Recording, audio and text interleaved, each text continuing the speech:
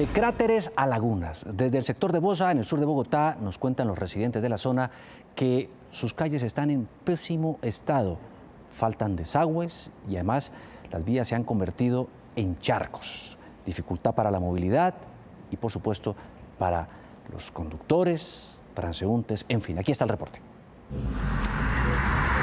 Buenas tardes, quisiera hacer una denuncia ya que en la vía que viene de Bosa San Bernardino a Bosa San José, la vía está en muy mal estado y cuando llueve se inunda toda la carretera y los carros, las personas, las motos, las bicicletas casi no pueden transitar por esa vía, por el mal estado en que está.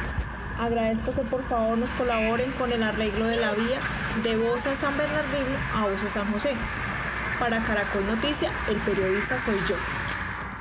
Desde San Jacinto del Cauca, en eh, Bolívar, hay temor entre la comunidad por el inminente colapso del jarillón conocido como el rompedero Caregato. Muchas veredas se verían afectadas por la creciente del río Cauca, por eso piden ayuda al gobierno. Mi queja y mi reclamo es que yo, nosotros queremos, veamos el peligro, que el señor presidente mire el peligro en que nos encontramos en el departamento de Bolívar, el rompedero de Caregato. Quiero que miren en el peligro que nos encontramos. Si estamos en un gran peligro con la epidemia, ahora qué tal será que el río se lleve este jarillón.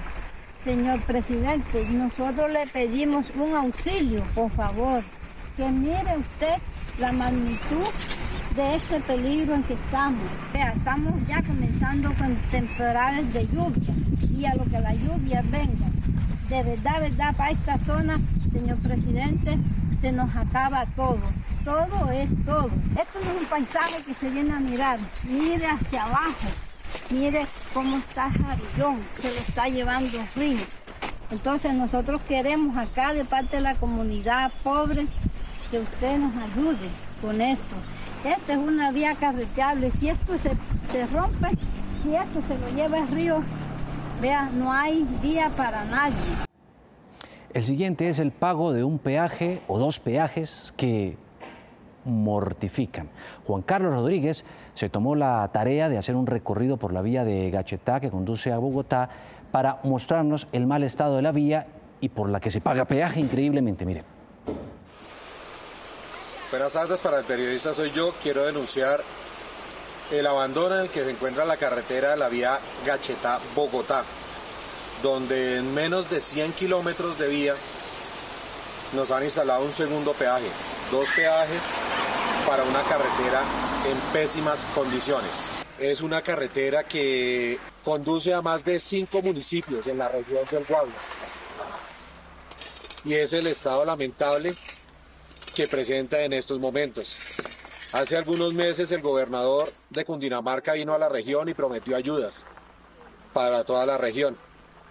Y la gran sorpresa de todo esto fue que la ayuda que llegó a la región fue un peaje más donde afecta a todos los campesinos de la zona para sacar sus alimentos hacia la capital del país. Para el periodista soy yo y Rodríguez. Ya lo ven, en Noticias Caracol estamos de su lado porque el periodista es usted y nosotros su canal.